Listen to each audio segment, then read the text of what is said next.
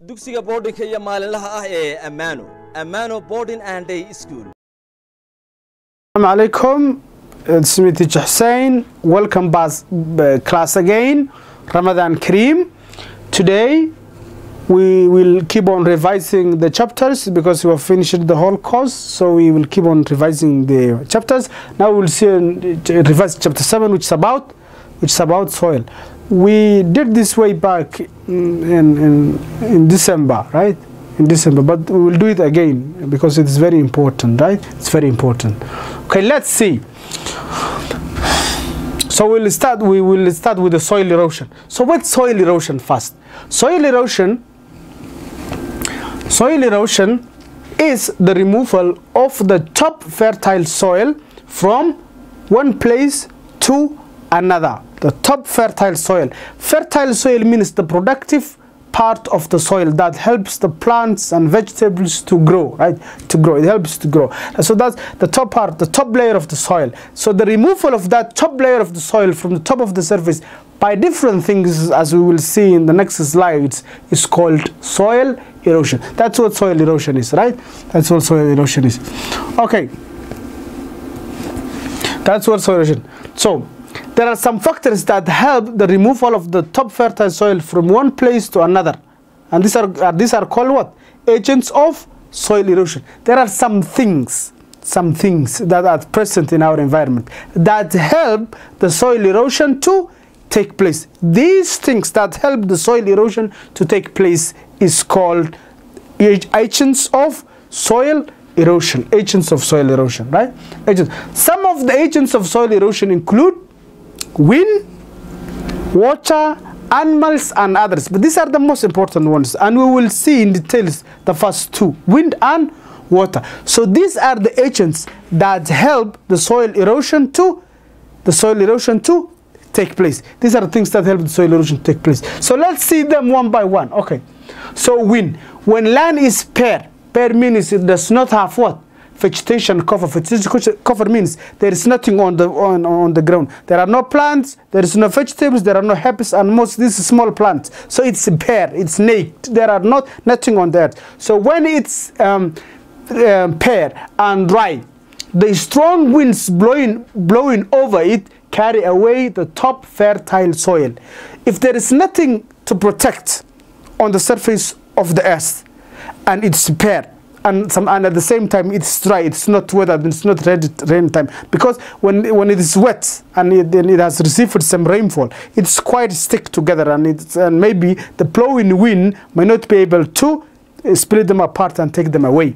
But when it is dry at the same time pale and there's no vegetation cover the strong winds that are blowing over the that uh, area will carry away the top fertile soil. Then what happens? This decreases the depth of the fertile soil available for the plants to grow. The, for the plants to grow, they need certain depth for the, the roots to penetrate into, right? And to absorb water from. So, if that top fertile soil is blown away, the remaining part of the earth will be thin and it will not be enough to sustain the life of the young plant and then it will not survive to grow. It will not survive to grow. Okay in desert for example the strong winds carry sand and deposit it on, on fertile fields um, therefore covering the top fertile soil.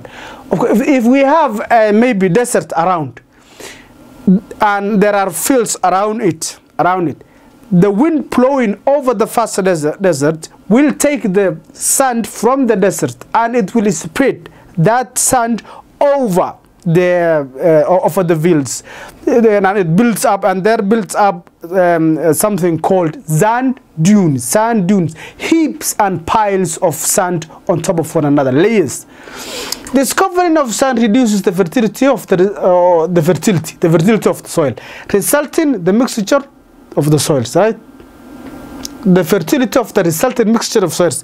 So there results a mixture of soils, sand, uh, loamy soil, clay soil, which is good for growing, and then when it mixed with sand, it will reduce what?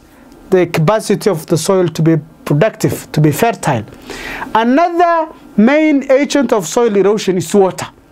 This can be in the form of rain or flowing water. This can be in the, in the, in the form of rain or flowing water. Okay, let's start with rain. When rain falls, when it starts raining, the water droplets hit the ground and, and disperse the soil particles. When it rains and it rains very heavily, very heavily, there are heavy downpours, that uh, strong water droplets coming from the rain will hit the, uh, the, the earth and when they hit, they split the soil particles apart. They split the soil particles apart. Okay, rainwater collects and starts flowing. Yes, and then that collecting rainwater and flowing will the flowing water washes off the top fertile top broken fertile soil. Now we said that when it hits the ground, it splits the soil particles. When the soil particles are split and the water start moving, the moving water will carry away the top fertile soil, right? Top fertile soil. Okay, this soil gets into rivers and may up in the seas, lake, or or silt up in the rivers where they are not needed. Yeah, where they are not needed. So flowing water, flowing water in the streams and rivers wears away the surface of the high and sloping areas, removing and carrying the top fertile soil. For example, if there is a stream or a river coming from from uh, sloping, from a uh, coming from top down the slope of a mountain or a sloping uh, land, it will wash away the, the all the soil that's on its way. That's on its way, right? Okay. So these are factors that increase soil erosion. The following factors increase soil erosion. Type of the soil. Yes, yes. Some of the soils are very fertile and very uh, um, uh, prone to be to be subjected to erosion, right? So, for example, loose soil is, is easily eroded. If the soil is loose, it will be easily eroded. It slopes. Okay, the steeper the slope, the faster and greater the slope.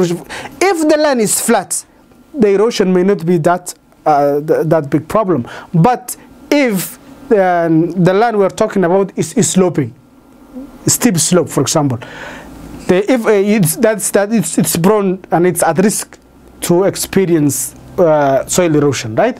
Soil erosion. Okay, lack of vegetation. As, I've, as we have said earlier, or if there's no vegetation cover and the land is bare, it is very fragile and prone to be subjected to erosion. Amount of rainfall, if, if it rains very heavily, if there is very heavy rainfall, it will wash away the top fertile soil. Human activities, human activities like overcultivation, overgrazing. Overcultivation means when you cultivate in a certain given piece of land over and over again. Overgrazing, for example, you have a small, small plot of land and you bring too many animals to graze them, then it will break up the soil particles. Deforestation, which is the cutting down of trees also, um, makes the, the soil to be at risk for um, erosion.